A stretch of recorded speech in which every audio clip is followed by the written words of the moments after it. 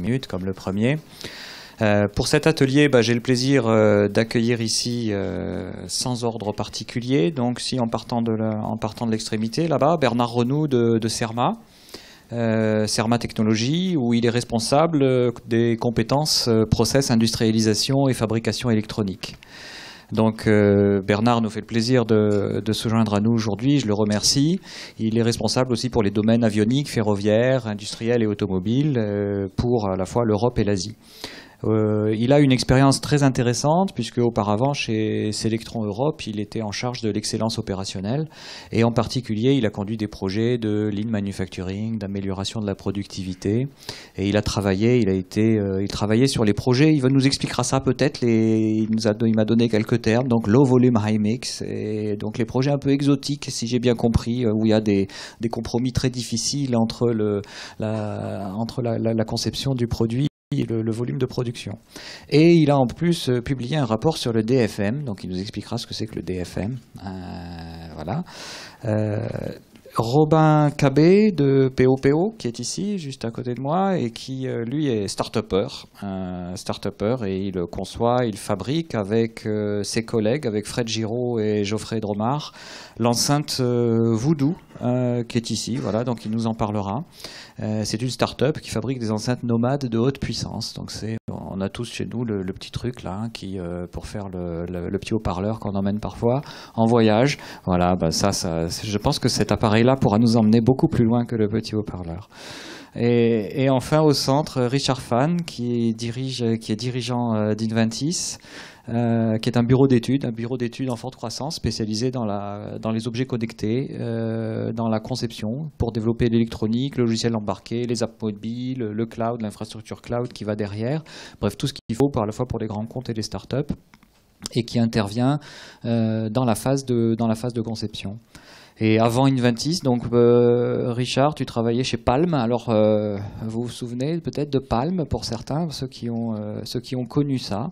Hein, c'était, euh, c'était entre le, le Newton de Apple et le, et le BlackBerry à peu près. Hein, c'est, à peu près ça. Donc un des précurseurs de, de nos objets, et de nos assistants intelligents. Et donc il travaillait dans la Silicon Valley euh, pour Palm. Il a travaillé pour HP, il a travaillé pour Enspring sur des projets de production, de supply chain et de conception de produits électroniques grand public. Donc vous voyez, on a, un bon panel, un bon panel ce matin. Et alors, euh, ce qu'on va faire, c'est qu'on va, je vais, je vais leur passer la parole. Après, vous intervenez bien entendu, messieurs, librement quand vous voulez. Euh, je donnerai juste peut-être un, petit, euh, peut-être une. euh, quel- quelques thèmes, quelques sujets qu'on voudrait aborder. Alors le sujet qu'on a choisi aujourd'hui, c'est Design for X, DF, DFX, DFX, selon comment on prononce. Alors c'est la conception pour X, X étant euh, quelque chose. Et alors ce que ça recouvre, et ça sera intéressant aussi qu'on parle peut-être de tous les acronymes qui traînent dans ces, euh, dans, ces milieux qui sont parfois ou de la poudre aux yeux ou de la poudre à vendre ou euh, une réelle complexité. Ça sera intéressant d'explorer cette question-là également. Donc le, X tient pour qu'est-ce que je prends en compte? Est-ce que je prends en compte le design, comment je prends en compte le poids, la consommation électrique, tout ce que vous voulez. Donc X, qu'est-ce que je prends au moment de la conception Donc il y a un lien intéressant avec l'atelier euh, précédent, puisque dans l'atelier précédent, on a parlé de agile et DFX, c'est bah, choisir le X, quoi. hein, et quel est- à quel moment je vais prendre quel X, et à quel moment je vais en figer les, je vais en figer les conséquences. Donc je vous propose de peut-être de commencer à, en passant la parole à, à Bernard euh, Renou de, de Cerma, si Bernard, si, si, si tu veux bien, Oui. Ben, peut-être nous, nous, nous parler à la fois ben, de ton expérience, puisque tu, tu as travaillé sur le DFM, et M, euh, manufacturing, hein, je, je vends la mèche, et on a parlé de ce mot horrible qui s'appelle fabricabilité, donc c'est peut-être intéressant que tu nous donnes ton point de vue là-dessus. Oui, euh, bonjour à tous. Donc euh, aujourd'hui, euh, donc je travaille à Cerma, euh, Technologies euh, et donc euh, à ce titre-là, mes activités euh, sont plus des activités de, de constat, de, de- de résultats de ce que l'on peut voir donc sur les sur des produits. non, pas celle-ci. Hein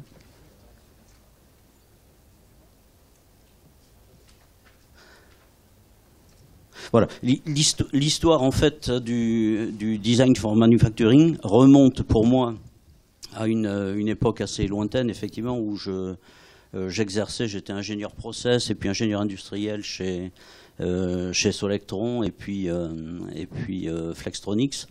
donc, ils sont des, des, assembleurs hein, de, de, cartes et de, systèmes. Et comment dire, nos, nos, nos donneurs d'ordre nous, nous donnaient à, à fabriquer des, des, produits sur lesquels on se rendait compte qu'il y avait des, des, des incompatibilités euh, par, rapport à, par rapport aux équipements, hein, aux process que, que l'on avait. Donc il y avait des incompatibilités qui réduisaient euh, considérablement la fenêtre de process. Donc c'est à partir de là qu'on on a euh, commencé à, à, éditer des, des, des, règles et de commencer à rediscuter avec les, les, les concepteurs hein, chez nos clients et qui d'ailleurs hein, euh, ont pris en compte les, remarques pour euh, enrichir le, leur database. Voilà. Alors aujourd'hui à, à Cerma, euh, nos activités sont, plus, enfin les activités de, mon équipe sont plutôt orienté euh, sur le sur l'audit industriel et l'audit process, l'audit de, manufacturing. Et en fait, on est, je, constate que l'on on est amené à faire des, des, constats et même des arbitrages, parce qu'on se rend compte que, alors que nos clients nous, demandent d'aller auditer leurs leur fournisseurs, on se rend compte que certains problèmes ne viennent pas que du fournisseur. Et malgré euh, les, travaux des, bureaux d'études des, des, donneurs, pardon, des donneurs d'ordre, on se rend compte qu'il y a encore euh, des choses qui passent au travers.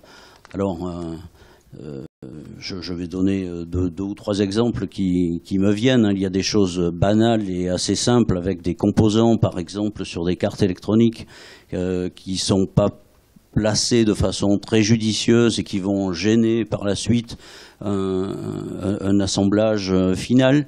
alors ça, ça a pu passer à travers les étapes de prototypage, parce que les étapes de prototypage se font de façon plus ou moins manuelle. Et puis quand on passe à l'échelle industrielle, les choses changent un peu. Euh, bon, alors ça, euh, euh, des composants mal placés, c'est assez, assez courant. Bon, on s'en tire avec un redesign plus ou moins léger, ou plus ou moins lourd, plus ou moins coûteux. mais enfin, on, arrive à résoudre les, problèmes. après, il y a des, un cas plus délicat où on s'est rendu compte que des, composants mal placés, euh, récupérés de la, de, la, de la poussière, notamment des, des composants, des connecteurs CMS assez sensibles des composants à, pas fin, donc sensibles à des pollutions de petite taille. Bon, il aurait mieux valu les mettre, les mettre ailleurs. Bon. Alors après, il y a des cas euh, plus embêtants où on, se, où on vient euh, au laboratoire de, de, CERMA avec des cartes, euh, des cartes en panne, et puis on se rend compte en, par itération d'analyse de défaillance que finalement ce sont des, des, condensateurs céramiques qui sont placés de façon là aussi peu judicieuse, et en particulier au niveau d'un, à, proximité de, colonnettes qui sont serties avec un, process qui est un peu stressant. Euh, bon, et ça, ça conduit à des pannes qui sont passées à travers les d'ailleurs, à travers les prototypages, à travers les tests, parce qu'en fait, euh, des, des, stress sur des, sur des composants sont des, euh, comment dire, peuvent être euh, très faibles, passer à travers les tests, et puis si on a commencé à fissurer certains composants ou certaines brasures, eh bien les choses empirent dans le temps, et puis au bout de quelques semaines d'utilisation, on commence à avoir des problèmes. Bon, alors du coup, dans, dans, ce genre de situation, est-ce que c'est un problème de, design Est-ce que c'est un problème de process? Parce qu'on peut dire l'assembleur euh, ne maîtrise pas son, son process de, de, de certissage de, colonnettes. Bon, on peut avoir des, tas de, discussions. En fait, la vérité est que bah, il faut travailler sur les deux sujets Et dans l'exemple en question, bah, d'une part, le, fournisseur a travaillé le, meilleur maintien de son, produit, mais euh, dans une, on a profité d'un engineering change euh, pour euh, déplacer les composants qui étaient sensibles. Dans certains cas, j'ai en tête un, cas plus grave qui a fini par coûter la vie d'une start-up avec un, produit magnifique, un système d'éclairage à LED pour éclairer des, des, stades de, tennis, donc euh, une, puissance euh, déjà euh, importante. Donc l'électronique de puissance était enrésinée dans, dans, un bloc avec un dissipateur. Alors sur les, prototypes, il n'y a pas eu de, problème particulier. Malheureusement, en passant sur des volumes plus importants, la mise en œuvre des, résines était un petit peu plus compliquée. Et finalement, euh, ça s'est soldé par des, pièces qui sont défectueuses, euh, où on voit des, brasures qui sont cassées. Euh, bon, et le, malheur, en fait, c'est que là aussi, la question était la au design, la faute de l'assembleur. Donc au final, ça s'est soldé par un, passage au tribunal. Et là, les choses commencent à, prendre du temps. Et du coup, euh, la start-up n'a pas tenu le coup. Voilà. Voilà euh, un exemple, alors qui sont plus des, constats, mais qui montrent qu'on a encore donc des, sujets euh, sous le pied, on va dire. Voilà. Absolument fascinant. Merci pour ce témoignage qui montre bien qu'on peut avoir toute l'expérience du monde. Euh, on continue. Euh, le, diable est toujours dans les détails. Alors ça, ça, ça, fait peut-être une transition avec, avec Richard, mais, mais, euh, mais, Bernard, sentez-vous libre de, commenter également. vous vous donnez l'impression que bah, c'est immense. Et donc, est-ce qu'il y a une méthode pour aborder, pour aborder ça? Est-ce qu'il y a une méthode? Est-ce qu'on a une liste des 120 000 trucs et un truc qu'il faut vérifier avant de commencer la conception Alors, euh, effectivement, dans, certains cas, on voit des, des gens. Tout à l'heure, le, terme dans l'atelier précédent a été euh, employé, euh, le terme d'AMDEC. Alors, AMDEC produit. Alors, évidemment, ce n'est pas une, une, une, arme absolue, mais c'est déjà, comment dire, une démarche qui permet euh, d'essayer d'anticiper et de euh, voilà d'évaluer de, de, oui d'anticiper sur des futurs modes de défaillance. Ça c'est une chose, euh, mais également une des solutions, c'est de commencer à discuter très tôt dans le process d'industrialisation, même quand on est encore à la phase bureau d'études, euh, d'envisager euh, vers quels industriels on peut se tourner. Et c'est un peu la, page de la, conclusion. Euh, pour aller auditer, visiter, discuter avec les assembleurs finaux pour essayer de voir si leurs outils et, les, méthodes qu'ils utilisent permettent, comme on dit, de tuer la variabilité, d'anticiper certaines choses. Voilà, voilà les, deux outils. Alors évidemment, euh, se lancer dans des, dans des visites euh, d'audit euh, quand on ne sait pas encore, quand on est encore dans les phases d'industrialisation, c'est un peu compliqué. Mais voilà, ce serait ça l'idéal, je pense. Alors au niveau de la, méthodologie, il y a énormément de choses. Euh, la première chose, je dirais que c'est une chance pour nous, c'est qu'il y a énormément d'humains. On a parlé de discuter beaucoup avec des experts, des gens qui ont de l'expérience. Euh, c'est vraiment un travail en équipe, le DFX. Alors dans mon expérience, le X c'était pour euh, manufacturabilité. Donc nous chez Palm, on faisait produire chez Solectron et chez Flextronics. Donc on était client deux fois de mon voisin. Euh, et on faisait beaucoup de DFM et de DFT avec Solectron et Flextronics, donc M pour manufacturabilité et T pour test. Parce que ce qu'on oublie quand on est une start-up, c'est qu'à la fin de la chaîne de production, il faut systématiquement tester tous les produits pour être sûr que ce qu'on met dans la boîte et qu'on envoie à un client, on est sûr qu'il marche quand il quitte euh, la ligne de production. Donc, pour tester un produit, qu'est-ce qu'on va faire? Ben, On va essayer de le faire de la manière la plus efficace possible. Et ça, c'est un petit peu retour sur le pourquoi on fait du DFX, pourquoi on passe du temps à investir du temps et de l'effort à faire du DFX. C'est pour optimiser le process et finalement pour économiser de l'argent. Euh, donc DFM, pourquoi? Parce qu'il faut que ça se produise facilement, qu'il n'y ait pas d'erreur de production, qu'il n'y ait pas de rejet de production en fin de ligne, que les choses soient faciles à placer, à souder. DFT, pourquoi? Parce que moins on passe de temps à tester le produit et mieux on le teste, moins on aura de retours clients et plus on économisera. On a parlé du coût de la main-d'œuvre. Si on passe une minute ou deux minutes de test sur une chaîne de production en France, ça va vous coûter euh, deux minutes de salaire chargé, plus la marge de quelqu'un qui travaille en usine. Par rapport à quelqu'un qui travaille en Chine, il y aura une différence. Donc pour optimiser ce temps, bah, je n'ai pas envie de passer dix minutes de test, je veux passer que le strict nécessaire, mais je veux quand même tout tester. Donc il y a un équilibre à voir. Un autre DFX, ça peut être euh, DF euh, pour la fiabilité. Alors on, a tous des téléphones qui sont tombés par terre et qui ne marchent plus. Après une chute, ou après 10 chutes, ou après 20 chutes, eh ben, ce nombre de chutes limite qu'accepte le fabricant, c'est le résultat d'une démarche de design for reliability, c'est-à-dire que je vais mettre comme limite pour concevoir un produit qui va résister à X chutes sur telle surface. Donc ça, c'est n'est pas par hasard, c'est un process.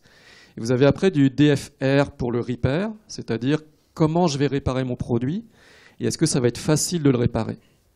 Et tous ces objectifs, en fait, sont contradictoires. Euh, vous ne pouvez pas tous les atteindre et vous devez faire des choix. Donc euh, une des méthodes, c'est de mettre tous les gens qui ont l'expérience dans ces domaines ensemble, parce que chacun va apporter son expérience des produits passés et, euh, son expertise. Et puis la deuxième chose, c'est que vous devez avoir quelqu'un qui prend des décisions. Alors je vous donne un exemple qui sont dans les, les produits du passé. Si les anciens avaient un Palm 5, vous vous souvenez que c'était un produit qui était très fin avec un, un PDA et il y avait zéro vis apparente. Le produit était monté sans aucune vis parce qu'il était collé. Et ça, c'était à l'encontre du DFR. On ne pouvait pas réparer le Palm 5, il fallait le casser pour réparer. Eh ben, le fondateur de la société a décidé de sacrifier le DFR pour un design for le customer, parce que le produit était super joli, sans aucune vis. Vous aviez exactement le même raisonnement sur les premiers iPhones. Vous avez des gens qui avaient essayé d'ouvrir un iPhone pour changer la vitre et qui systématiquement le cassaient parce qu'il n'était pas conçu pour faire du DFR. Donc une société comme Apple est capable de faire d'un sacrifice de dire je ne design pas pour la réparation, mais le produit est super joli. vous avez même sur le DFM, si vous regardez les PC, les desktops, les briques, euh, c'est du DFM pur, parce que ça se monte extrêmement vite, c'est modulaire, il n'y a presque plus de vis dans ces produits-là. Mais qu'est-ce que c'est moche? Ça coûte pas cher à produire, mais qu'est-ce que c'est moche? Donc voilà, vous n'allez pas faire du DFX partout, vous n'allez pas atteindre tous les objectifs, mais il faut quelqu'un qui consciemment prenne une décision. Après, va consulter euh, les experts dans chaque domaine. Merci, merci Richard. Alors dans les discussions préliminaires avec, avec Robin, il est apparu bon, un, petit, peu sur le thème. Alors il va nous dire si c'est euh, euh, une petite note humoristique ou si c'est vraiment la réalité de la start-up qui démarre et si X c'était tout simplement le bon sens. bonjour à tous. Euh, moi, je suis pas autant avancé que vous, messieurs. Nous, on est donc une start-up qui a donc décidé de faire une enceinte sur batterie de haute puissance. Donc, on est parti du constat qu'on voulait avoir du son de partout de haute puissance, sans aucune contrainte, et on a un peu regardé ce qui se faisait sur le marché. On a vu que c'était que des blocs noirs. Donc, euh, nous, c'est plutôt parti de comment se démarquer de tout ce qui se fait à côté. Donc, euh, ben, la solution, c'était d'avoir une identité visuelle. Donc là, c'est du design for X pour pouvoir reconnaître le produit euh, se l'approprier. Donc c'est pour ça que bon, vous pouvez voir qu'il a un peu une tête de bonhomme. Donc c'est un petit peu notre copain de soirée. Euh, voilà, donc nous on est parti de ce constat-là et, euh, donc pour pour en arriver là, on, a donc un designer dans l'équipe qui aurait dû être là à ma place pour en parler, mais donc qui nous a ouvert les yeux en tant que nous ingénieurs, les autres associés, pour pouvoir faire vraiment intégrer l'aspect design euh, donc autant au niveau euh, fonctionnel qu'au niveau utilisation, donc très simple d'utilisation, ergonomique, tout ça, voilà, for X. Euh, après, c'est vrai que le design, il a été aussi travaillé, ben, comme vous avez parlé avant, pour l'industrialisation qui est à venir, c'est-à-dire pour une facilité de montage du produit, pour une production qui, j'espère, sera fluide et limpide. Euh, voilà, donc nous, on a vraiment utilisé le design for X en se basant sur X, qu'est-ce qu'il voulait voir, qu'est-ce qu'il voulait euh, entendre aussi en termes de qualité, et comment il pouvait se l'approprier, et comment on pouvait se démarquer des autres, des autres marques. Euh, voilà, c'est un peu tout ce que j'ai à dire par rapport à ça. voilà. Ben, c'est très intéressant. Et à quel moment, justement, dans cette partie de conception, le, client intervient-il pour les, arbitrages? Parce que les, deux précédents nous ont bien montré qu'il y avait des arbitrages à faire. Donc, euh, à quel moment avez-vous utilisé le client ou le marché pour euh, faire des arbitrages et décider ben, c'est un peu à l'instinct. ben, disons qu'on est une startup qui se lance. D'ailleurs, pour information, on fait une campagne de crowdfunding euh, qui commence à la fin du mois. Voilà. Donc, euh, nous, on a fait euh, ben, beaucoup de. On a commencé par une idée qu'on allait montrer aux gens sur des événements, et puis on a jaugé un peu les retours. C'est du, feedback constant, et du coup, ben, on s'est aperçu que l'aspect esthétique. Bon, nous, on a un parti pris qui est assez radical mais la radicalité permet de ben, d'avoir du tout ou rien. Donc euh, ça, on se démarque, on sort du lot et les gens se rappellent de nous par notre identité. Et c'est la seule protection qu'on peut avoir réellement euh, dans un produit où on dépose pas de brevet, on dépose pas de, enfin c'est que de la protection des cinq modèles. Donc c'est dans ce cas-là que le design for X et l'esthétique du produit euh, rentrent en jeu. Très bien, merci beaucoup. Je voudrais peut-être poser une, question aussi au, panel. Euh, ça a été évoqué un petit peu par Antoine Level dans l'atelier précédent, c'est-à-dire que dans la conception, à quel moment intervient la capacité des, partenaires avec lesquels on va fabriquer, entre industrialisation et fabrication. Donc la question que je me pose, c'est euh, est-ce que ça va, est-ce que le choix des partenaires va induire des contraintes sur la conception et dans quel sens ça fonctionne? Comment est-ce que ça boucle ça? Euh, les partenaires, euh, très souvent, sont. Ça marche là euh, Très souvent, les, partenaires sont choisis un peu de façon historique. C'est-à-dire qu'en en, fait, on a l'habitude, on a déjà développé des projets avec certains partenaires. Et donc, naturellement, on vient euh, placer euh, un, nouveau projet après, euh, après phase de prototypage qui peuvent se faire parfois, par exemple en, France. J'ai eu plusieurs fois le, cas. Ensuite, on va voir le partenaire avec lequel on a l'habitude de, travailler en Europe de l'Est ou, en Chine. et c'est là qu'il y a un piège parce que du coup, on, comme on, connaît ce, partenaire, bah, finalement, on se dit, bon, il, sait faire. Voilà. Seulement, si on a un produit qui a des, caractéristiques propres hein, et des particularités, eh bien, euh, on peut passer euh, à côté et, se générer des, des, problèmes qu'on n'avait pas prévus. Alors sur le, effectivement, je rejoins beaucoup euh, Antoine sur euh, Antoine Level de, Squadron sur la, participation très très tôt de la phase d'industrialisation. Euh, c'est quelque chose que, que moi j'ai appris aux États-Unis dans une société comme Palm par exemple, qui avait au premier étage l'équipe R&D et au rez-de-chaussée l'équipe industrialisation. Et on se rend compte que l'expérience des managers et l'expérience des ingénieurs faisait qu'ils se forçaient à collaborer sur un futur produit dès le début. Et on avait une sorte de biseau qui transférait progressivement et naturellement la responsabilité des prises de décision d'abord au marketing, ensuite à l'engineering et ensuite très très tôt au milieu du projet au manufacturing pour euh, l'industrialisation. Donc ça veut dire que dans les étapes que Antoine utilisait qui sont codées euh, comme les entreprises utilisent à la Silicon Valley, donc EVT, DVT, PVT, donc engineering, design et production. Et on appelle ces phases-là des, tests. Donc on va tester l'engineering, on va tester le design, on va tester la production. Et l'objectif de tester le design, c'est de faire quelques centaines de protos. On parlait de, de, PDA au téléphone, de tester quelques centaines de protos sur la chaîne de production future. Ça veut dire que pour une startup aujourd'hui, ce qu'on conseille, c'est de sélectionner un partenaire industriel très tôt, pratiquement à la fin de votre proto sur table euh, de ce que vous appelez votre, votre POC, de commencer à le, sélectionner et de travailler avec lui concrètement sur le DFM avant de faire votre petite pré-série de quelques dizaines ou euh, une centaine de produits pour utiliser la chaîne de production que vous utiliserez plus tard à la fin. Et ça, c'est très important d'avoir ce biseau et d'avoir une continuité au lieu d'avoir des marches ou bien des, paquets de documents qu'on dit ben voilà, je l'ai conçu, maintenant c'est à toi de le fabriquer. Ça, c'est une recette sûre pour euh, fabriquer quelque chose de mauvais. C'était assez courant ça il y a une quinzaine, une vingtaine d'années, et on sait que ça ne marche pas. Quoi. Tout à fait. Et donc pour accélérer votre temps pour le marché, pour éviter de, de se trimballer des bugs de conception, eh bien, il faut mettre en place très rapidement des équipes pluridisciplinaires avec votre partenaire industriel avant même de faire vos premières pré-séries euh, à l'échelle de, de 10, 50, 100 unités. Alors en parlant de pluridisciplinarité, ça, ça m'amène aussi à la question, euh, on a deux termes en français, on est ingénieur ou designer. Hein. Il y en a un c'est plutôt l'industrie, l'autre c'est plutôt le ministère de la Culture pour caricaturer. Et alors que dans d'autres pays, c'est engineering design, manufacturing design, product design, et puis tout le monde est designer. Hein, D'accord? Donc peut-être une question pour, euh, pour, Robin, puisqu'il a dit, voilà, le, designer aurait dû être à ma place. Donc, euh, et, donc pourquoi?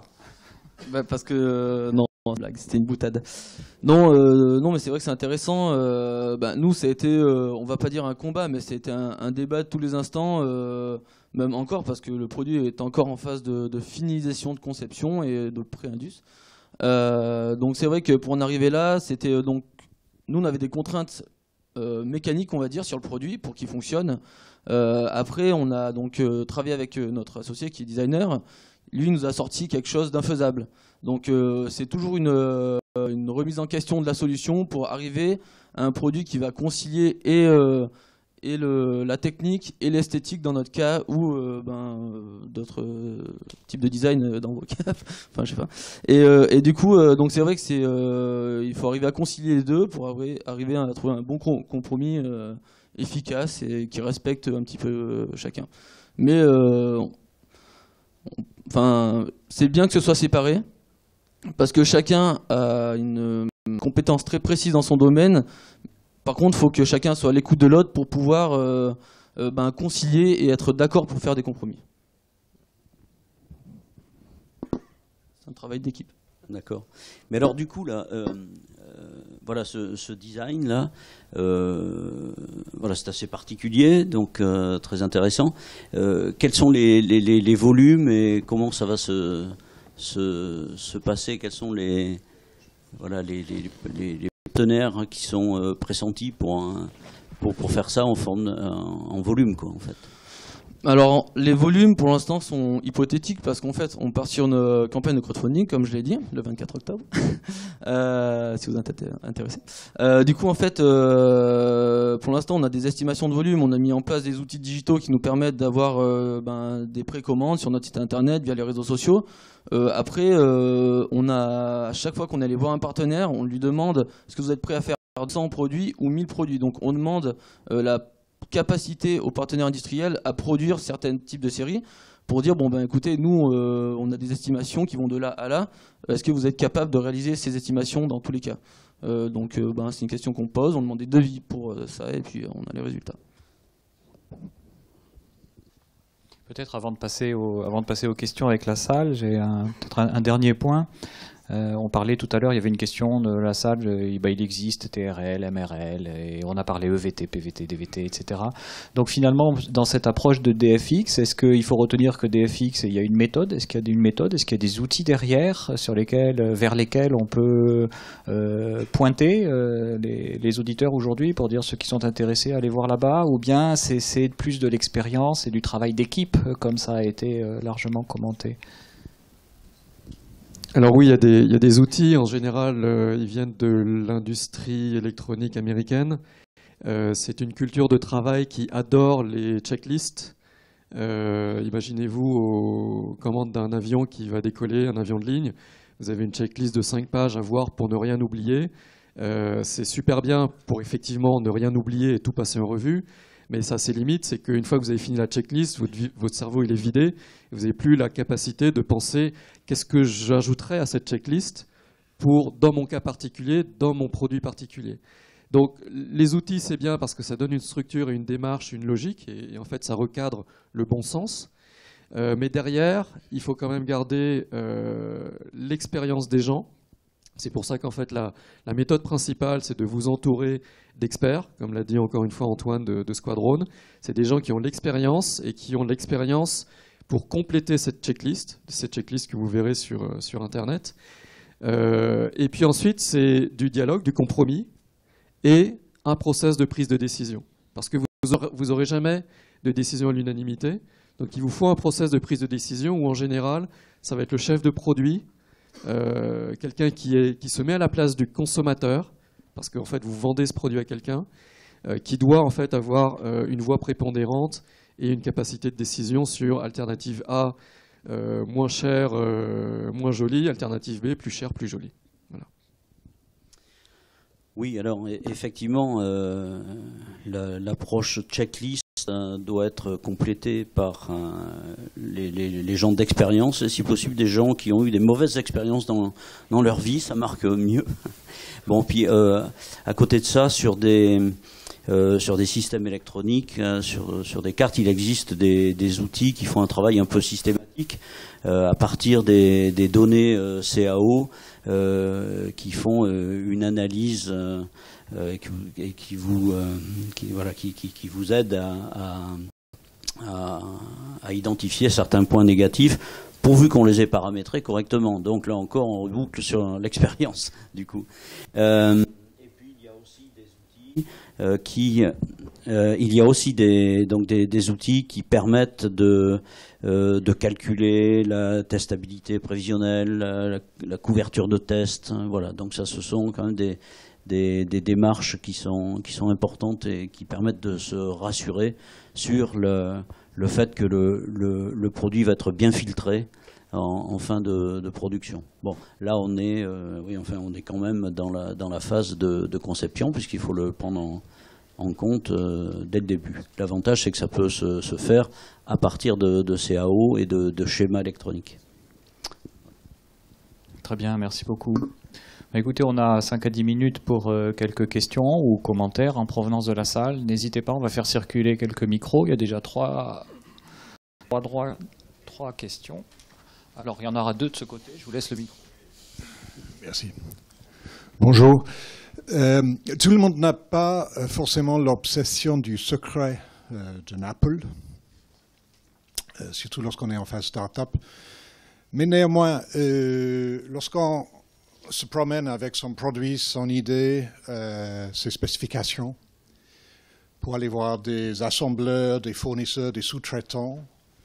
Euh, il faut avouer qu'il y a des risques euh, d'éventer ce qu'il y a de spécifique à son produit. comment proposez-vous de gérer ce risque-là en phase d'industrialisation? Alors, ma philosophie, euh, et je caricature une phrase que j'ai entendue en, anglais aux États-Unis, c'est de dire si vous n'êtes pas capable de parler de votre produit à n'importe qui, c'est que ce n'est pas un bon produit. Euh, ce qui est sous-entendu, c'est que c'est pas le document, si c'est le document de spécification qui est le cœur et 90% de la valeur de votre startup, euh, c'est pas suffisant. Il faut trouver quelque chose d'autre. Ça peut être dans la commercialisation, ça peut être dans des accords de partenariat stratégiques que vous avez, des contrats d'exclusivité. Ça peut être parce que vous comprenez le client mieux que quiconque dans votre métier. Il faut quelque chose d'autre que juste la technique. Parce que euh, si votre produit il ne tient que sur des performances techniques, ça ne va pas être un produit commercialisable aujourd'hui, là où on a beaucoup de marketing, de réseaux sociaux, de Twitter, de Facebook. Euh, d'autre part, c'est un risque qui est très faible parce que nous, dans notre métier, euh, si on fait une erreur de confidentialité, on ferme la boutique. Donc on n'a jamais intérêt à piquer ou à diffuser l'idée de quelqu'un qu'on ait signé des accords de confidentialité ou pas. C'est une règle d'éthique. Si vous faites une faute éthique, vous méritez de fermer la boutique. Donc nous, on n'en fait pas. Ceux qui distribuent des documents tout il faut qu'ils arrêtent ce métier. Il faut que tout le monde le sache.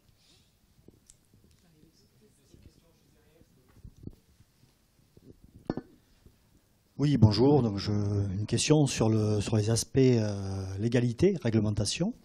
Quelles sont les, principales contraintes qui vous viennent à l'esprit euh, sur le pour le marché national et pour le marché international?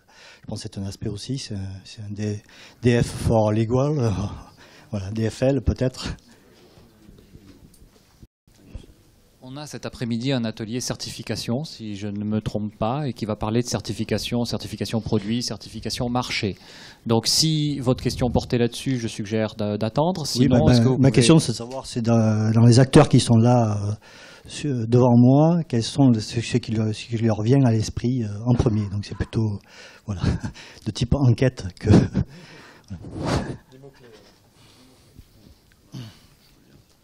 Bah, nous, on est dans une phase où justement euh, on travaille sur les certifications euh, avec Monsieur Marcel d'ailleurs euh, pour les batteries par exemple. c'est vrai que ben c'est toutes les normes qui vont autour, ben les certifications, c'est faut savoir ben, en fait, c'est une phase de conception du produit qui va devoir être étudiée au moment où on va devoir intégrer toutes les normes sur certains points. Donc souvent, ben, c'est lié à l'électronique, les batteries, tout ça, parce que ben, c'est très normalisé maintenant, très compliqué. Donc voilà, c'est euh, une deuxième phase, de, une petite reconstruction, on va dire, euh, de, ce qu'on a. Enfin, nous, c'est comment on voit les, choses chez POPO.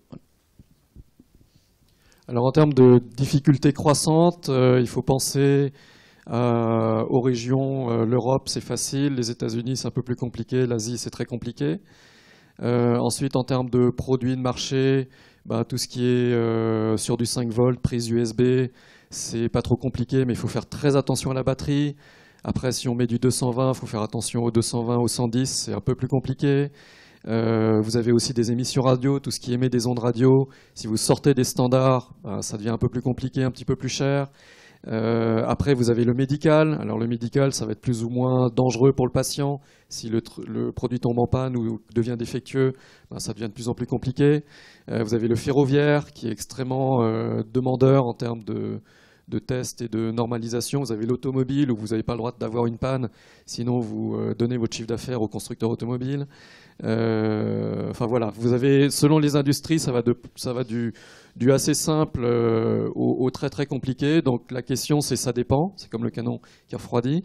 mais très rapidement, vous pouvez voir que c'est beaucoup plus simple de faire un produit 5 volts euh, pour l'Europe, parce que de toute façon, vous êtes couvert sur l'Europe aujourd'hui, que de faire euh, un produit de 120 volts ou 110 qui doit être exporté euh, au Japon, en Chine.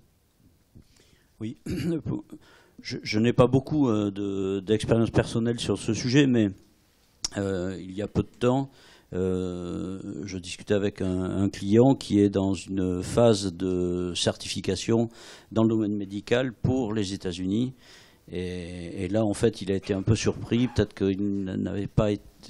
Enfin, il avait bien prévu un peu d'argent, mais en fait, on est tout de suite à 40 ou 50 000 euros euh, sur, des, sur des certifications euh, pour, pour des marchés un peu difficiles. Voilà. Merci. J'avais une question par là. Oui.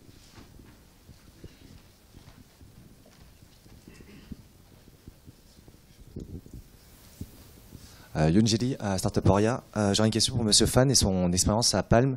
Euh, tout à l'heure, vous avez parlé des arbitrages à réaliser vis-à-vis des différents DFX et notamment, par exemple, vous avez fait le choix de privilégier le design comparé à la possibilité de réparer le produit. Alors, sur quelle base et sur quelle métrique finalement vous avez choisi de privilégier et être certain que derrière que le design allait plaire, allez vous assurer par exemple une meilleure marge ou encore plus de ventes par la suite? Euh, la métrique, c'était l'insistance du fondateur de la société qui avait plus de 50% des actions. Donc, il une il s'appelait Jeff Hawkins. Il a créé Palm. Euh, c'était le fondateur de Palm. Il avait euh, énormément d'actions, effectivement, et c'était un maniaque du design. C'est-à-dire que, effectivement, le zéro vice, c'était un diktat du haut.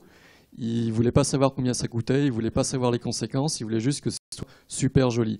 Effectivement, le Palm 5, l'histoire du Palm 5 par rapport au Palm 3, pour les anciens, hein, euh, les volumes lui ont donné raison. Euh, le, Palm est devenu, une icône avec ce design du Palm 5 qui effectivement était joli. Donc c'était de l'instinct. Pour lui, c'était du bon sens. Pour les ingénieurs, c'était euh, c'était terrible. C'était une grosse erreur. Mais bon, c'était le patron et voilà, c'était la métrique. Oui, parfois il y a des raisons techniques aussi. Euh, euh, je, crois que donc euh, Nokia à une époque avait choisi et, fait développer une, crème à braser pour braser les composants, justement qui permet d'avoir de, meilleures performances à la tenue au choc. Et donc, pour, des téléphones portables, le, risque de chute est assez important. Euh, et en fait, ils ont fait plutôt l'impasse sur d'autres euh, crèmes à braser qui avaient de meilleures performances en termes de vieillissement et de tenue au cyclage thermique. Euh, parce qu'effectivement, ça peut se comprendre. on ne demandait pas à un, Nokia de, tenir 15 ou 20 ans. par contre, tenir quelques années et être robuste vis-à-vis des, chutes, ça, c'était intéressant. Donc euh, une crème rasée a été formulée euh, pour optimiser ce paramètre-là. Quelquefois, il y a des raisons techniques. Très intéressant. On a le temps pour une dernière question, s'il y en a une. Oui, ici.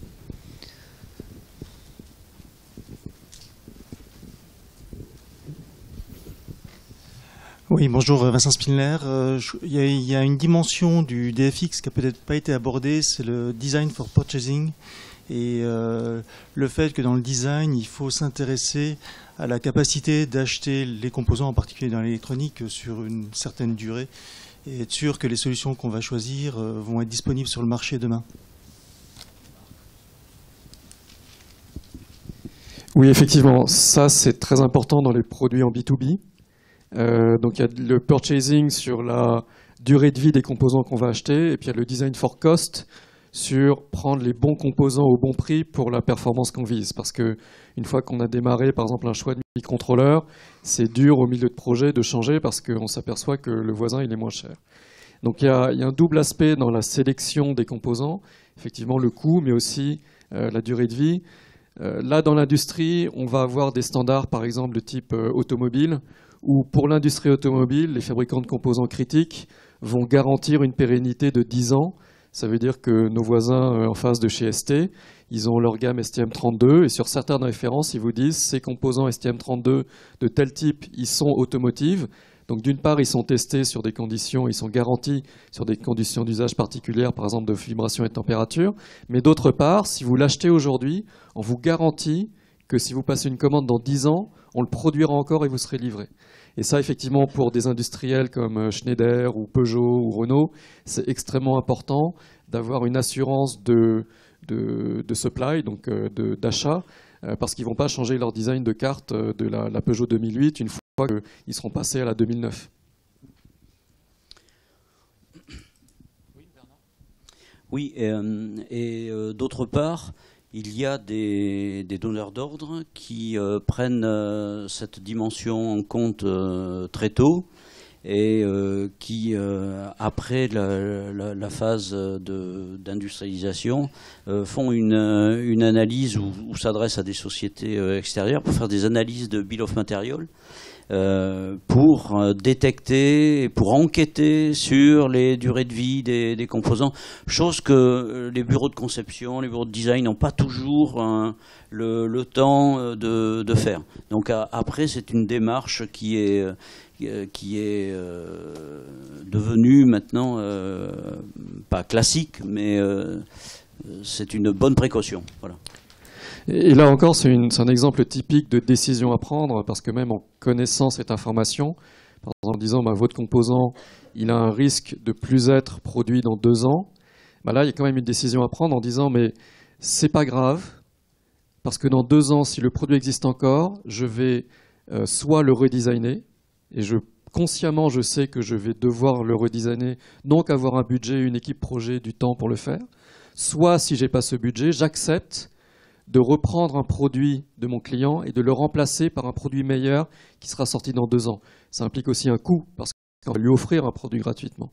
Mais c'est le genre de décision qui, avec des, ratios de panne prévus, des ratios de réparation prévus, euh, du coût différentiel, etc., peuvent vous permettre de dire bah, aujourd'hui, je prends la décision consciente de prendre un produit en, en, fin de vie à deux ans de sa fin de vie parce qu'il me coûte 2 dollars moins cher sur un volume de 100 000 et dans deux ans, si le problème se, se, pose, eh ben, je sais que je vais offrir un produit qui va me coûter à, produire peut-être 15 dollars, mais ce n'est pas grave. et je prends cette décision.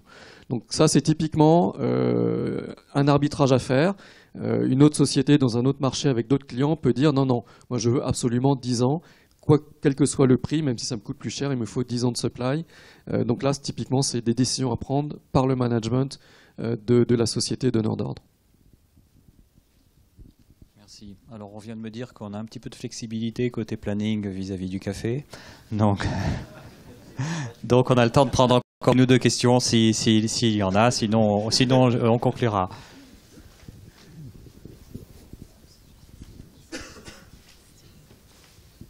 On termine là alors. Bah écoutez, euh, vraiment, je vous remercie. Je voudrais remercier les, intervenants euh, pour la qualité de leur, euh, de leur message, vous pour vos questions. Et je conclurai en disant que moi j'ai retenu deux choses. la première, c'est qu'un composant mal placé, ça prend la poussière. Et, et, et la deuxième, c'est que ce composant-là n'est pas fait pour prendre la poussière et qui démarre sur Indiegogo le 24 octobre. Merci.